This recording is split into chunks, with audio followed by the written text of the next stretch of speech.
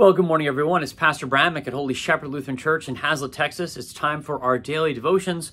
We are in Isaiah chapter 30 today, and we're starting at verse 15. This is what the sovereign Lord, the Holy One of Israel, says And repentance and rest is your salvation, and quietness and trust is your strength. But you would have none of it. You said, No, we will flee on horses. Therefore, you will flee.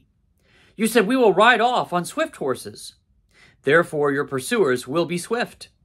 A thousand will flee at the threat of one. At the threat of five, you will all flee away, till you are left like a flagstaff on a mountaintop, like a banner on a hill.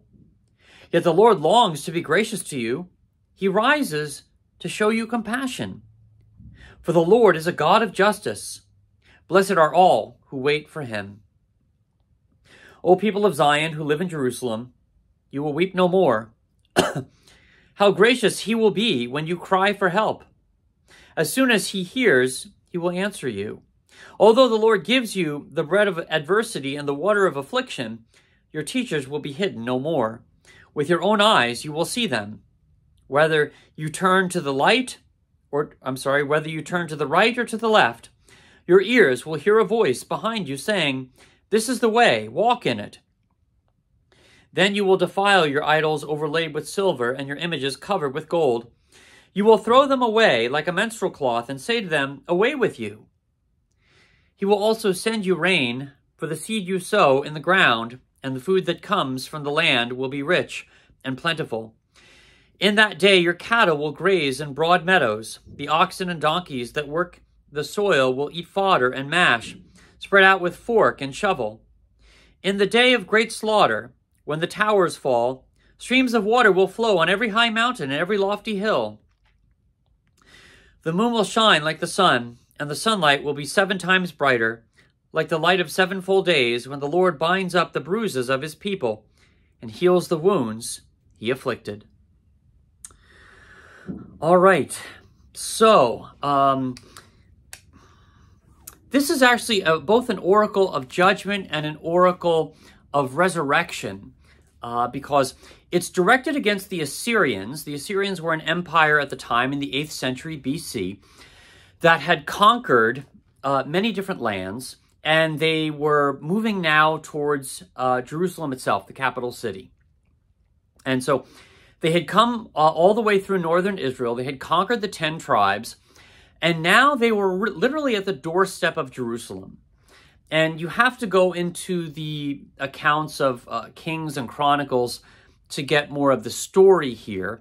Isaiah is prophesying that God has afflicted his people, allowing the Assyrians to come upon them. Uh, but uh, at the end of the passages today, God says that he will deliver them. He will bind up the wounds that he himself um, initiated you know, all the people have to do, or I don't want to say that, but, but, but all the people are called to do is to trust in him, right? Uh, God says at the beginning of the oracle today, the prophecy today, um, let me make sure I get this right. I have to look close. In repentance and rest is your salvation. Uh, but then the people talk about fleeing on horses, right? Like they think they're going to be able to get away by running away. And God says, no, just repent and rest and, and you will see your salvation, that, that God will deliver the, the people.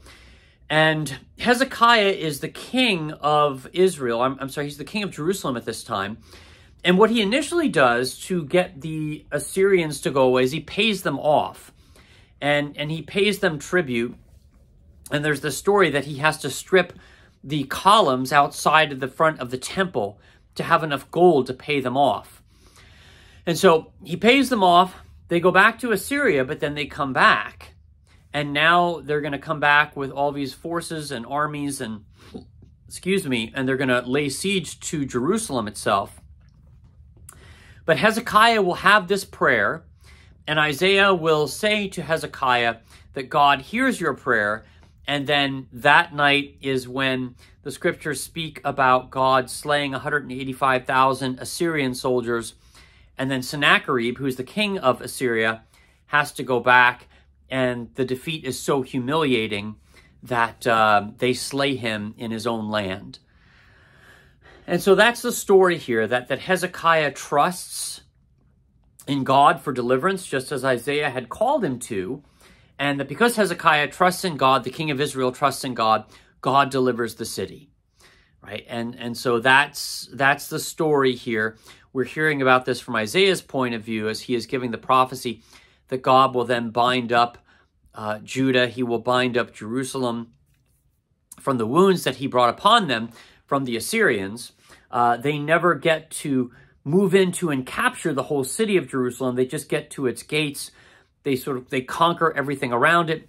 They conquer Israel's, uh, or I'm sorry, Judah's neighbors um, to the north, which would have been the ten northern tribes of Israel, because they were unfaithful and they did not repent. But he will spare Jerusalem because Jerusalem does repent and it does acknowledge its sins and faults. And then Isaiah the prophet prophesies that uh, Judah will be bound up and uh, God will um, will will tend to her wounds and will save her at least for a time because then Judah will go backwards again and uh, the same will not be said when the Babylonians come along. Uh, they follow the Assyrians and that happens about some 150 years later. So, all right, let's continue now as we pray together the Lord's Prayer. Our Father who art in heaven, hallowed be thy name. Thy kingdom come, thy will be done, on earth as it is in heaven. Give us this day our daily bread, and forgive us our trespasses, as we forgive those who trespass against us. And lead us not into temptation, but deliver us from evil.